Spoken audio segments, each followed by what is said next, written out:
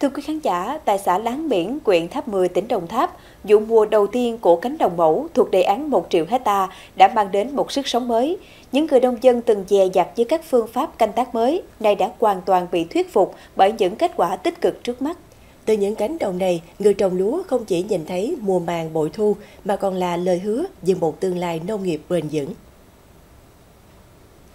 Có mặt trên cánh đồng của hợp tác xã trong ngày triển khai mô hình điểm của đề án 1 triệu hecta tại Đồng Tháp, ông Nguyễn Hữu Nghĩa chăm chú theo dõi chiếc máy xả cụm đã được nghe nhiều nhưng chưa được thấy tận mắt.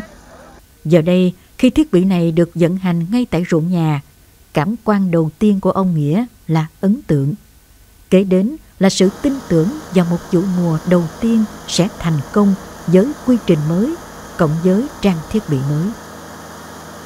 Trước giờ thì ờ, xạ hàng tay thì có nhưng mà xạ hàng theo máy này chưa có. Nhưng mà qua cái trình diễn này nói chung là máy thực hiện rất là tốt.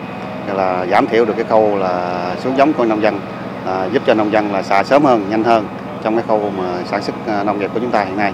Chúng ta phải theo dõi và cũng hướng dẫn cho cô bác cũng đi theo định hướng ngay từ đầu.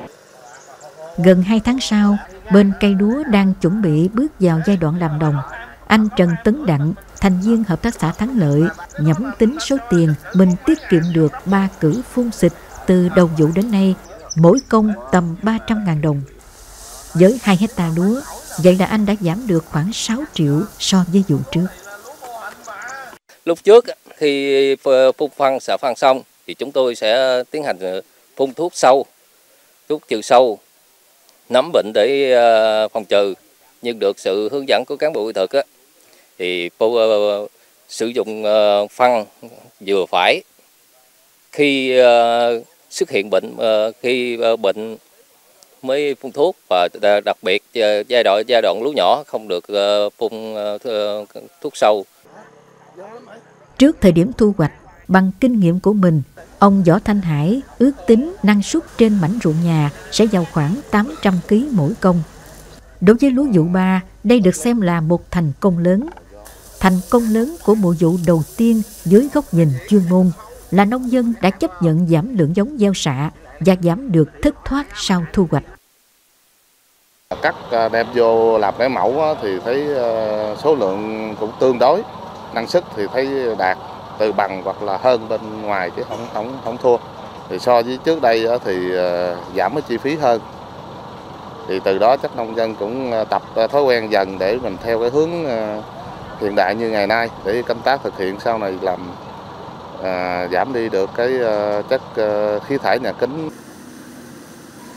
Trong vụ đông xuân tới đây, mô hình điểm tại xã Láng Biển, huyện Tháp 10 sẽ tiếp tục được duy trì và mở rộng diện tích.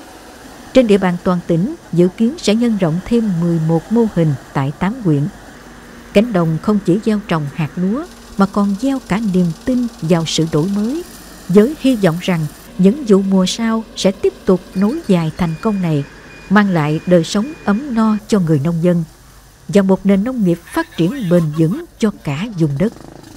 Một lần nữa, đất đai và con người Đồng Tháp lại chứng minh sự kiên trì cùng nỗ lực đổi mới để thay đổi tương lai cho cây lúa.